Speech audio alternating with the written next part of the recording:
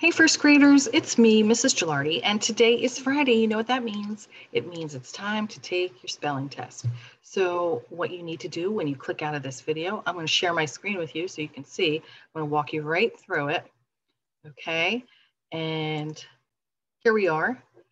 You're going to, when you click out of the video here, you're going to click on the Spelling City monitor and you're going to sign in as a student here. So I am signing in just like I was one of you.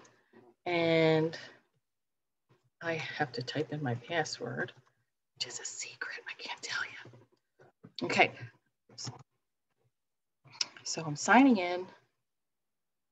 And right away, it's going to take me right to um, my activity that I have to do for today. So my computer's running a little bit slow, but here it comes. Here's my activity. Where is it at? Here it is. So you should only have one activity here. We're going to click on that activity and it's going to take you right to your spelling test. Now, remember, you can always click on. Um, Get ready for the test. Don't peek at your list. Begin. You can always click on. Thin. The thin paper can slip under the door.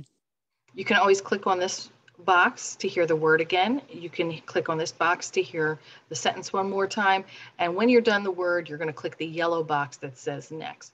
So you're going to um, type the word. Uh, remember the word? Thin. Thin. Okay, so I'm going to. In the white box, spell the word Thin.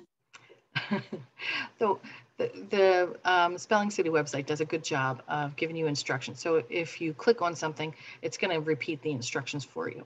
Okay, now I'm going to stop the share so that you can click out of this video, click on your Spelling City, and get right to your test. Now remember, you can practice it with somebody at home before you start taking the test.